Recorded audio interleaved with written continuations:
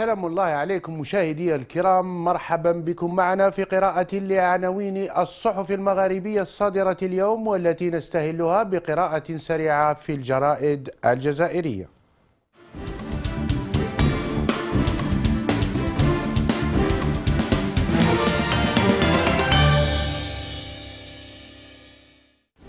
الشروق ترسيم زيادات الكهرباء والوقود في جنح الليل. الوزير بن خلفة انسحب. والمعركة استمرت إلى الخامسة صباحا ولجنة المالية تقر. سبعة ملايين غرامة لكل من يشتري سيارة جديدة. البلاد. حدائق بابل ونهر دبي قريبا بالعاصمة. وادي الحراش من الروائح الكريهة إلى منتجع للعاصميين. أمطار طوفانية تحدث طوارئ بولايات عدة. سعداني يأمر نوابه بالمصادقة على قانون المالية ومنع تعديلات حنون. الخبر. الجنرال حسن يطعن في الحكم بحبسه. قانون المالية يحدث فتنة في البرلمان. الحكومة تفشل في خوصصة المؤسسات العمومية الكبرى. الفجر الحكم على الجنرال حسن بخمس سنوات سجن نافذة. آخر ساعة. إدانة الجنرال حسن بخمس سنوات سجن نافذة في محاكمة سرية. استفادة مليوني فلاح من الضمان الاجتماعي. المحور. هنون تصر على مقابلة بوتفليقة متهمة الوزير بن خلفة بالخيانة العظمى ووصفت مشروع قانون المالية بمثابة إعلان حرب على الدولة والمجتمع ليبرتي لو جنرال حسن condamné à 5 ans de prison ferme.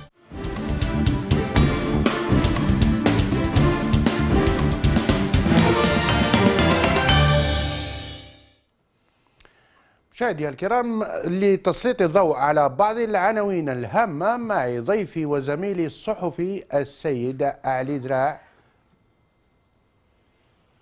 زميلي علي مرحبا بك. نعم. مرحبا بك أخي.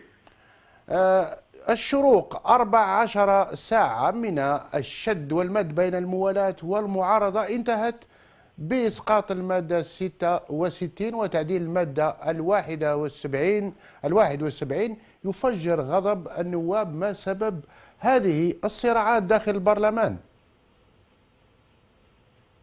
في البداية السلام عليكم وتحية إلى كل مشاهدي المغاربية. وعليكم السلام ورحمة الله. أعتقد أو حسب المعلومات المتوفرة لنا أن هناك صراع كبير جدا على مستوى أعلى هرم السلطة من أجل التوجهات في المستقبل ولذا أصبح النظام في حالة لا يحسد عليها. يعني السلطة أصبحت تحاول أن تجد صيغ لتسيير أمورها اليومية ساعة بساعة. وهذا نتيجة لصراحات الآن الصراحات أصبحت مكشوفة للعلن وأصبح الناس ينادون من كانوا في النظام ينادون بتطبيق عقوبات على ناس ومواطنين آخرين أصبحوا الآن مهددين بأن تطبق عليهم قوانين هم أنفسهم. ف النظام الحالي وهو البرلمان تابع للنظام الحالي هو تابع لأجنحة داخل النظام وليس تابع للشخص في النظام. فكل إنسان داخل البرلمان كان مزكى من طرف مجموعة أو من شخص داخل هرم السلطة. فإذا اهتز هذا الهرم بالطبيعي أنه يهتز تهتز أجنحة البرلمان. ويصبح الصراع داخل النظام داخل البرلمان لأن هذا البرلمان هذا لم يكن برلمان منتخب بصفة ديمقراطية ولا بصفة حريات المتفق عليها. المجموعه وأنا وأنا منهم كنا ننادي بحريات أكثر وبشفافية أكثر وبانتخابات نزيهه أكثر. فإذا به الشيء هذا البرلمان الذي نحن أمامه كان مر بطريقة غير نزيهه وكان فيها تزوير كبير يعني. حتى كان معلن بصفة علنية لكل الناس. فبطبيعة الحال أن لما نوصل وتتمثل مصالح مصالح فئة على فئة فتضطر الفئة أو الجهة هذه أنا ما نقولش طبقات لأن ليست هناك طبقات ولكن فيه فئات داخل النظام مصالحها محسونة ومحفوظة بقوانين. لما تصبح هذه القو... هذه الفئة ممكن تمس من طرف مواد من مواد قانون المالية تتحرك هذه العناصر أو البيادق وتحرك عناصرها داخل البرلمان لتغيير الجو. هذا ما وقع حسب رأيي وحسب المعلومات المتوفرة لدي أن هناك أجنحة داخل السلطة متصارعة والصراع ليس فقط من أجل قانون المالية ولكن لتعكير الجو العام وإدخال البلاد فيما لا يحبط عقباه. البلاد أنا أعتقد أنها أنهم يريدونها أن تدخل مثل ما دخلت كل الدول العربية في صراعات دموية. لا قدر الله هؤلاء يبحثون على آه، خلق الصراع داخل البرلمان والخروج من البرلمان إلى الشارع. هذه هي أعتقد رأيي فيما يدور داخل البرلمان.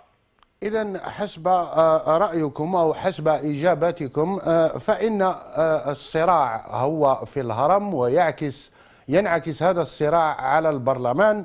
فهل هذا يعني هل هذا يعني أن هناك قوى تضغط على النواب وإجبارهم على تمرير القانون؟ طبعا. طبعا هناك قوى.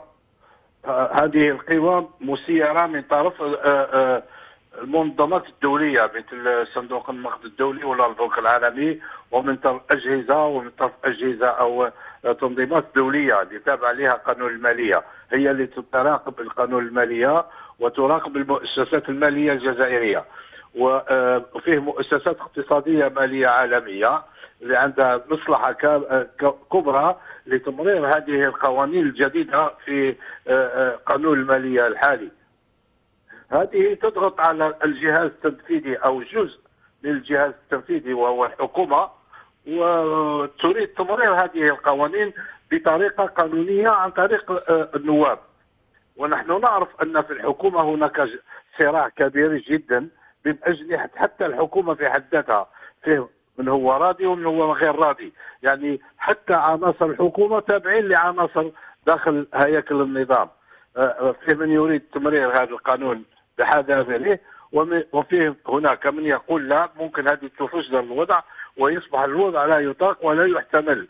فحتى آه، داخل أجهزة النظام الحكم يعني حكومه وبرلمان غير متفق على شيء واحد وفي السابق كان تعطى الأوامر لرؤساء الأحزاب وتعطى الأوامر من رؤساء الأحزاب للنواب ويمروا ما يريدون. الآن أصبح حتى رئيس حزب لما يعطي الأوامر للنواب تاعو ما, ما يمررش مثل ما يريد. لكن هناك من يرى بأن هذه القوى الضاغطة أصبحت قوة مالية يعني من قبل من قبل كانت قوى باسم الشرعية الثورية أو باسم الوطنية لكن أصبحت الآن آه، قوى حسب محللون قوى ذات آه، آه، ضغط مالي هل فما رأيكم؟ فعلا هو في السابق اطغى أطغى على على تسيير البلاد ما يسمى ما يسمى ولكن وهو ليس بهذا. ما يسمى بالشرعية الثوريه الشرعية اللي اعتبروها امتداد للثورة ولكن للأسف كانت الثورة المضادة هي اللي كانت تسير في البلاد. لكن معليش نقبلها بالتسميه الآن فيه لوبيات جديدة آه، تبنات على أساس ريع أو الريوع الموزعة في السنوات الأخيرة على أشخاص معينين. وكيفية توزيع المال العام وعدم مراقبة المال العام ومن يستفيد من المال العام. هذه الناس بنات نفسها وتحاول تكون نفسها كلوبي أو كلوبيات لتحل محل المؤسسات التقليدية القديمة وهي المؤسسات مؤسسة المؤسسة العسكرية والمؤسسة الأمنية والمؤسسة الرئاسية. فالثلاث مؤسسات هذو في السابق كانوا هم اللي يتفقوا اثنين يتفقوا والثالث يمشي معهم. هم اللي يسيروا البلد. الآن أصبح فيه تراجع بالنسبة لهذه التقسيمات. وقع انقسام كبير داخل هذه التقسيمات وتطاعم وفي صراعات كبيرة داخلها. فتدخلت مصالح المال وحابة هي اللي تسيطر على كيفية سير المجتمع وكيفية استلام السلطة في المستقبل. بالمال يمكن في حسب رأيهم أن يصلوا إلى تسيير المجتمع.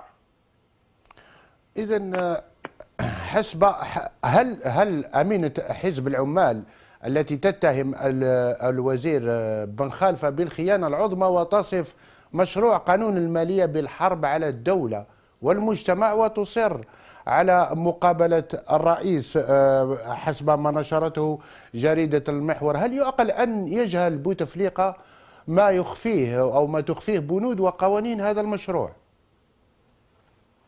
تعرف هذا آه، هل يجهل أو يعني أنا أعتقد النظام الحالي هو نفسه يعني لم لم يتغير. بوتفليقه هو رئيس النظام الحالي. يعلم أو لا يعلم كل الأمور تمشي باسمه هو الموقع فيها. هذه اولا ثانيا ان السيده لويزا حنون رئيس حزب العمال هي عضو في النظام الحالي. هي عضو عضو فعال. وعندها علاقات آه، آه، كبيرة جدا مع آه، أعلى سلطة أو في أعلى سلطة هرم الدولة أو سلطة النظام. فأنا قلت في البداية أن هناك صراع داخل أجهزة النظام أو في أعلى هرم السلطة.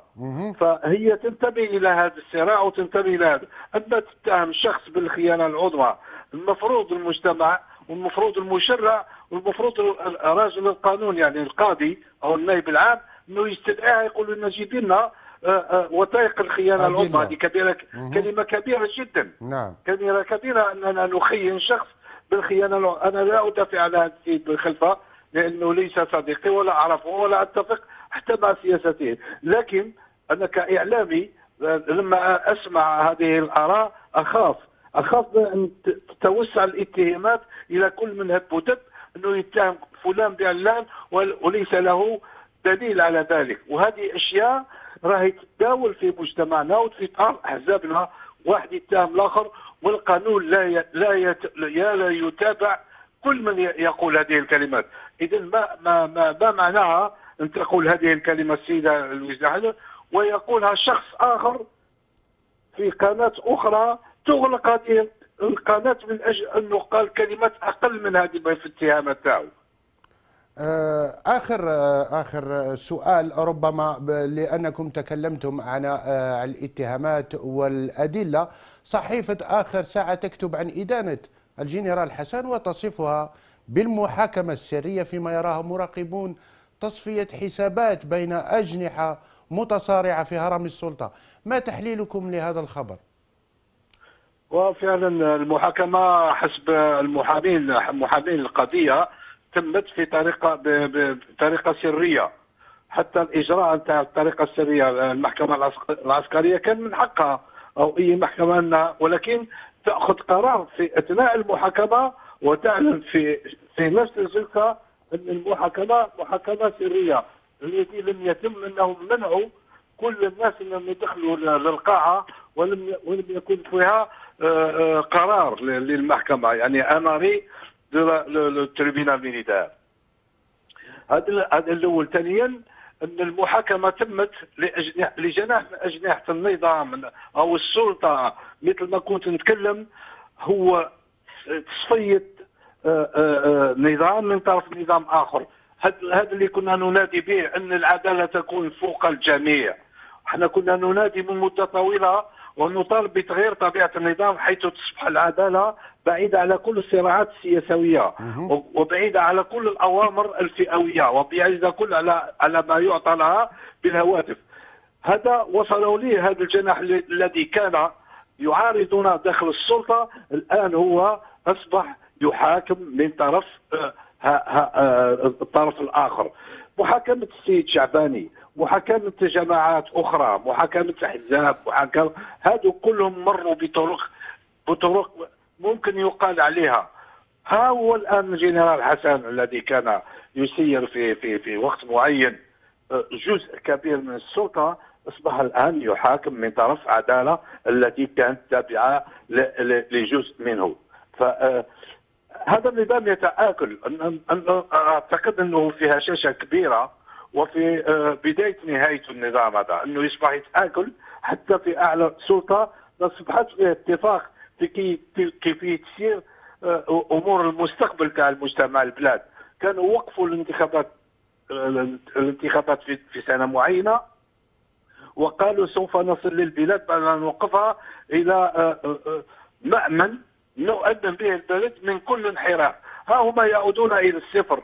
بهذه الطرق. ها هم يعودون لضرب الاستقرار. ها هم يعودون إلى ضرب الوحدة الوطنية والمساس بمكونات المجتمع. وأنا أخاف في البداية قلت أنا أخاف بأنهم يؤدوا بالجزائر إلى ما هي عليه بعض الدول العربية. شكرا. لا قدر الله. لا قدر الله الله شكرا زميلي علي دراع. كنت معنا من الجزائر إلى تونس مشاهدي الكرام مع مراسلنا من هناك غفران حسيني وقراءة في عناوين الصحف التونسية. أهلا زميلي نبيل تحية إليك وإلى كافة السادة متابعي قناة المغاربية. زالت الصحف التونسية تكتب في موضوع الإرهاب وتداعياته ونستهل جولتنا في بصحيفة الضمير التي عنونت الإعلام وأجندة الإرهاب لماذا تصر بعض المنابر على الفتنة وتقسيم التونسيين حيث كتبت الضمير أنه في مقابل الضبط والصرامة في تطبيق قانون الإرهاب في الشارع وعلى المواطنين فإن الجهات الحكومية لم تتخذ أي إجراء لضبط حالات انفلات أخرى.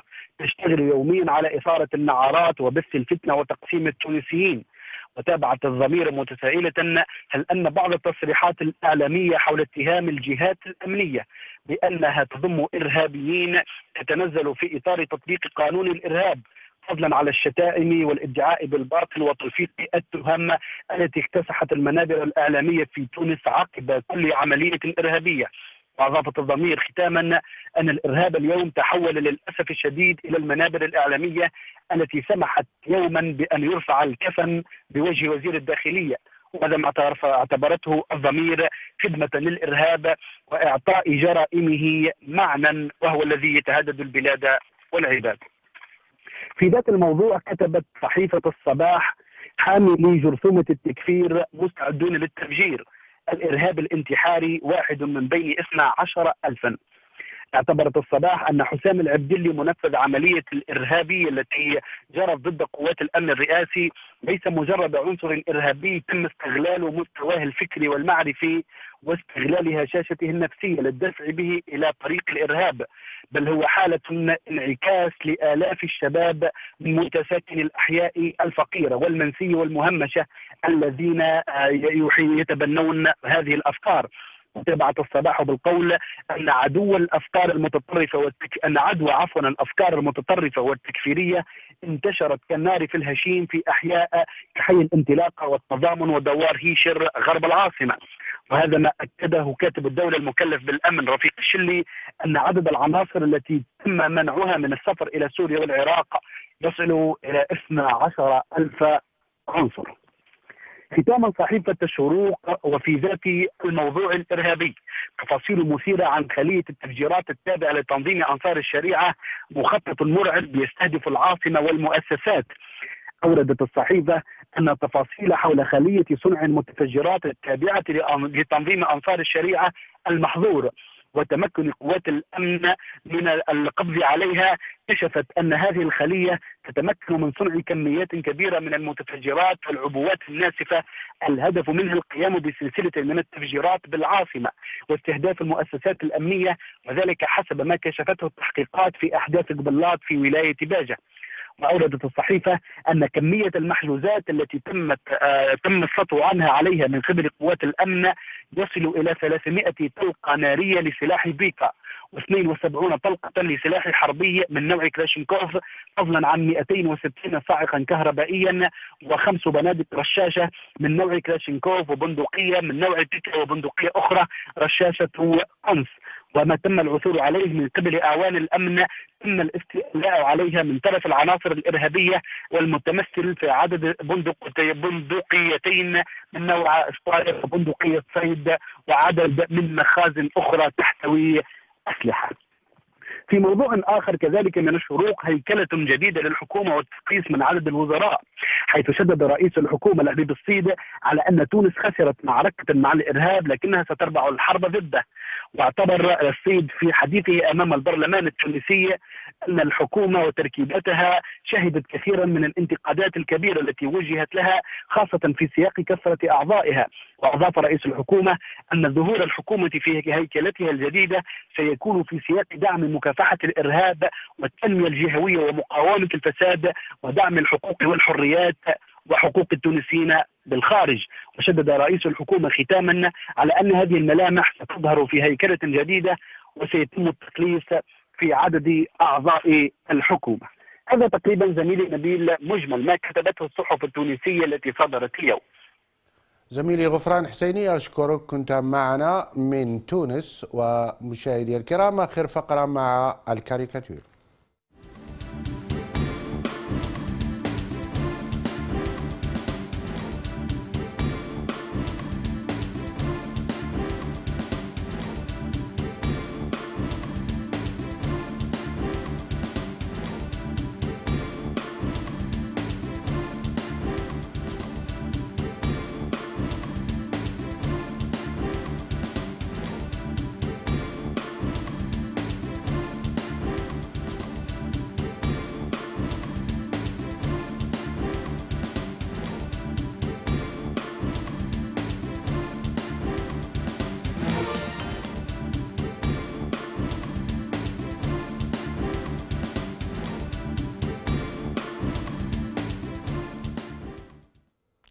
إلى أن نلقاكم مشاهدي الكرام في فرص أخرى. أشكركم على حسن المتابعة. إلى اللقاء.